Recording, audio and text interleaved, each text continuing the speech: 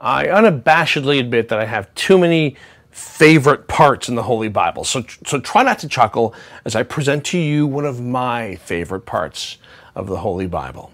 John chapter 6, the bread of life discourse. Jesus drops the bombshell. Unless you eat my flesh and drink my blood, you have no life in you. Ka-boom. You know that manna that miraculously fell from heaven at the hands of Moses? That was part of the old game plan. This flesh thing is the game changer. I love John chapter 6 for a whole slew of different reasons. Partly because Jesus was trampling roughshod on the Mosaic law that forbade the consumption of blood. Partly because the look on the faces of his apostles must have been classic. But mostly because Jesus explicitly conveys the bare bones fact that the church he is establishing is not a democracy. Did you get that?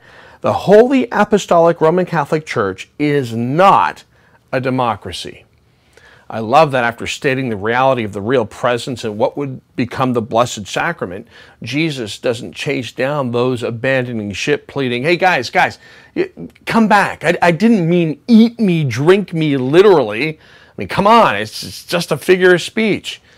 Jesus doesn't then start to manipulate the message to his 12. Guys, guys, guys, just hold on. Bear with me for a second. You, don't get it yet, but you will. Just trust me. Just go along so that we can get along. No. As Jesus pans across to watch the literal masses depart from him and his message, he turns, looks at his closest pals, and says, Would you like to leave too? Incredible.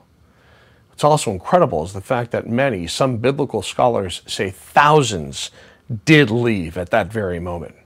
And they, the once faithful, continue to do so. My response? Don't let the door hit you on the way out. The Catholic Church is not a democracy, never has been, never will be. And it's why the Roman Catholic Church can never be part of the WCC. Huh? What? WCC, what the heck's that? It's the World Council of Churches, don't you know? And just the other night, I was invited to an evening of reflection and dialogue with the Norwegian General Secretary of the organization.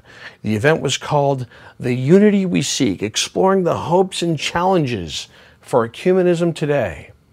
You know, it's confounding to me that the descendants of the very people who took a sledgehammer to the church some 500 years ago are now hand wringing and lamenting about the fractious nature of Christianity. At least uh, that's what they say.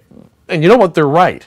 Some 33,000 different Protestant sects is, is pretty fractious. Still, I was curious as to how the dialogue would pan out. Didn't take long for someone to take a swipe at the magisterium, though, and the dig came courtesy of a reverend of the United Church of Canada. How did she begin her talk on exploring the hopes for ecumenism? By recounting how devastated her niece was, crying in a corner while all the rest of the Catholics were joyously receiving the Eucharist at a large community mass in Vancouver. Those nasty Catholics hell bent on keeping everybody not in their club away from the banquet table. Once again, it dawned on me how the heck is this ecumenism possible when these so called church leaders of the Protestant variety haven't the foggiest clue as to how we Catholics view the Eucharist? Actually, you know what? Strike that. How the Eucharist was always intended to be viewed. And you know, I can't tell you how many times I heard the word Eucharist brought up that evening. Today's attack on the Christian faith is in high gear, but to faithful Catholics, this WCC dialogue and reflection is kind of akin to shuffling the deck chairs on the Titanic. And this is not to necessarily throw ecumenism under the bus either. After all, there is space devoted to it within the Catechism. What I'm saying here is that for Catholics, there are things that are simply not up for debate, things you, you cannot put up to a vote, things that are completely non negotiable, like, uh, I don't know, uh, the body, blood, soul, and divinity of our Lord and Savior Jesus Christ.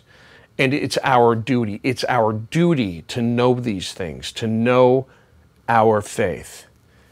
The day after my evening with the WCC, it was announced that after 10 years on the job of leading the Anglican Church, the Archbishop of Canterbury is stepping down at the end of the year. The pessimist may argue that uh, Rowan Williams is uh, getting out while the getting's good. Then again, the self described hairy lefty always had a tough time reconciling the rift concerning homosexual clergy between conservative African and liberal North American churches. As Williams himself put it concerning crisis management, quote, the worst aspects of the job have been the sense that there are some conflicts that won't go away. Yes, Rowan, democracy's a bitch.